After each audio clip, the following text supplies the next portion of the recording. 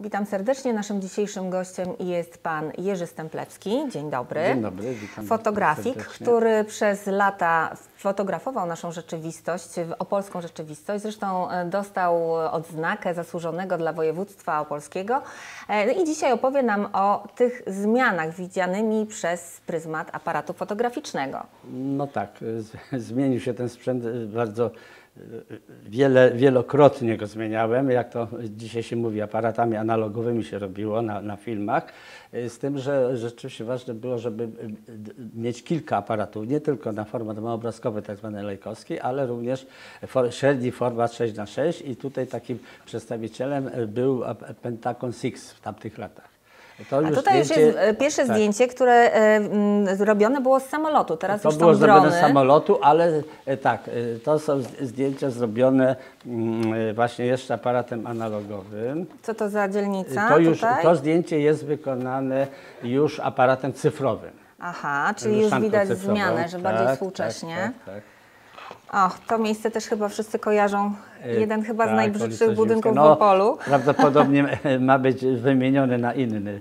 E, słyszałam o takich planach. Ale właśnie. tutaj mamy niezwykłe zdjęcie, panie Jerzy. Tak, Plac Kopernika tak Proszę wyglądał właśnie w, latach 90., y, prawda? Y, Mieliśmy tam cytrusek y, na tym placu. W ogóle wiele rzeczy się zmieniło i jest to też takie miejsce, które, y, które wielokrotnie fotografowałem i, i, i to jest też jedno z miejsc, które bardzo się zmieniało. No właśnie, a jakie miejsca najbardziej się zmieniały? Tutaj mamy piękny przykład. Tak, to jest stare, E. stare mury właśnie obok katedry opolskiej, tam, a tutaj już widzimy jak te mury zostały ładnie odrestaurowane, prawda? No. E, No takim kolejnym miejscem to tutaj chyba jest nasze muzeum, prawda? Tak, tutaj Muzeum mamy, Śląska Opolskiego. proszę bardzo, E, mamy e, zdjęcia, tak. których widać jeszcze brak muzeum. Tak, tak, tak, tak, tak.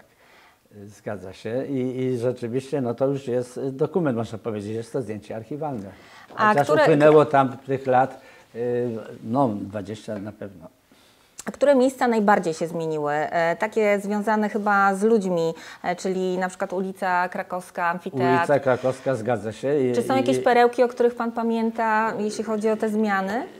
No, ulica Ozimska, ulica Krakowska, y, sam rynek y, też, też się zmienił, może nie w takim stopniu, ale y, pamiętam czasy, kiedy przez rynek jeździło się autobusami, prawda? Tu mamy dla porównania A stary tutaj mamy i nowy właśnie stare zdjęcie placu Sebastiana i aktualne właśnie. To zdjęcie było robione aparatem analogowym. Ja pracowałem na ap- aparatem Canon A1. Jest to ciekawy aparat. Y, Kupiłem go w 80 roku o- od kogoś, odkupiłem. y, I co ciekawe, że kosztował on mnie wtedy tyle, co nowy maluch. Więc dysproporcja ogromna cenowa. Tu Tak. jeszcze mamy niezwykłe zdjęcie. Tak, to jest, to jest właśnie jeszcze stary okrąglak, tak wyglądało jego wnętrze.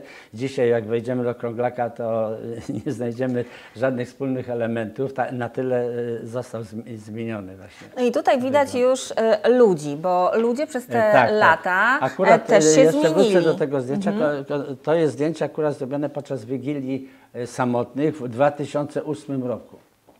Jest to nawet... I tutaj właśnie widać ludzi, ale tu mamy perełki, jak e, Tak. widać, że się Pochód zmieniała moda. z- który sfotografowałem w roku 76. No, Liceum Sztuk Plastycznych. Dlaczego? Dlatego, że ja akurat pracowałem wtedy w Liceum Sztuk Plastycznych. A czy, e, bo nie tylko moda na, zmieniała się na ulicach, no, czy ma Pan takie zdjęcia, że na przykład widać, jak ludzie się zmienili? Widać przede wszystkim po strojach i ubiorach, e, jakie wtedy noszono, prawda? Chociaż można zauważyć, że znajdą się elementy wspólne. To znaczy, że m- jak wiemy, że moda powraca. Także. No, ale tutaj na przykład fantastycznie widać o A, żużlowcy, żużel, no. żużlowcy. Jeżeli ktoś dzisiaj chodzi na mecze żużla, to widzi, że te stroje, co prawda zdjęcie jest czarno-białe, nie, nie, nie, nie można na nim oddać tych barw, ale prawda jest też taka, że gdyby to zdjęcie by- było wykonane wtedy w kolorze, y, to też y, te stroje były szare. E, No ale e, jakby cały, e, całe miejsce tutaj, e, gdzie odbywa się żużel też uległo zmianie przez te lata. Tak. E, Tutaj wspaniała galeria naszych symboli perelowskich jeszcze. Tak jest, e, rajdy festiwalowe, tutaj akurat były rajdy festiwalowe, tak? Zaodrza, tak? To, to, to, to, to są ujęcia, które zrobiłem podczas rajdu festiwalowego, który zawsze towarzyszy festiwalo, festiwalom piosenki polskiej w Opolu. E, Czyli e, widzimy tu stare samochody e, i atmosferę starego festiwalu czujemy. A żeby ją jeszcze przytrzymać na chwilę, no to Tak. co to za zdjęcie, To panie jest, to jest zdjęcie wykopalisk na Ostrówku, tak, które wykonałem właśnie pod koniec lat 60., póki jeszcze to nie zostało zasypane, prawda? Czyli też tutaj archiwalne mamy piękne zdjęcia. No i wchodzimy w tych ludzi e, i w niezwykłe. Tak, o, tak. e, tym musimy się pochwalić koniecznie. Mamy naszego radnego, prawda? Y, y, Upamiętniony sukces. upamiętniony Bo, tak, Bąk. Jest, jest obecnie radnym, a ja to zdjęcie robiłem. w- Momencik, musiałbym to tutaj sobie przypomnieć. Nie, Ściągawka, bo nie to- zapisałem, ale już będzie ładnych kilkanaście lat temu.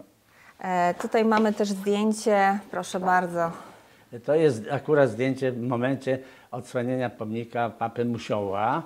mm, Tak, Który już z nami jest trochę lat. Tak, z prawej strony jest autor tego pomnika, Wit Pichurski, y, notabene moja ucze, mój uczeń, uczyłem go fotografii właśnie w Liceum Sztuk Plastycznych. No i prezydent e, Zębaczyński. No i jeszcze prezydent Zębaczyński, tak, był przy odsłonięciu i ówczesna szefowa Pani- e, TPO, Towarzystwa Przyjaciół Opola. Tak. Ta trójka właśnie to odsłaniała. A i tutaj mamy też pamiętne zdjęcie. Mamy Opolankę, tak, Annę Panas. Ale nie która- tylko, mamy naszego hejnalistę. E, Zgadza się, ale gwiazdy dotyka Anna Panas, e, która e, również występowała na festiwalach piosenki polskiej w Opolu. To była chyba jedna Ale z pierwszych mamy, gwiazd tak, tutaj mamy na jeszcze naszym dwóch dotyku. Opolan, prawda? Mamy e, Kukiza i Bajora. Tak, pan Michał Bajor tu się nam schował. E, mam nadzieję, że będzie naszym następnym gościem, który opowie o tym, jak się zmieniało Opole.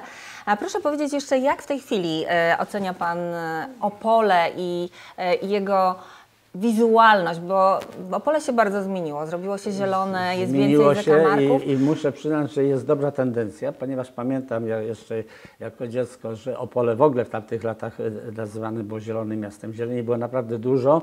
E, Nastąpił później, był taki okres, kiedy z tą zielenią było coraz gorzej i obecnie wracamy właśnie do tego stanu i, i, i wiemy, co się dzieje. E, Jest, jest, jest, jest piękny rozwój mm, miejsc y, y, rekreacyjnych prawda, w, rejonie, w rejonie Wyspy Bolko, y, prawda, na Zaodrzu. No, czekam na moment, kiedy będzie można z tego bardziej skorzystać, jak już minie prawda, ta epidemia koronawirusa. No, miejmy nadzieję, że ona się szybko skończy. Dziękuję serdecznie za rozmowę. Również Naszym gościem bardzo. był pan Jerzy Stablewski.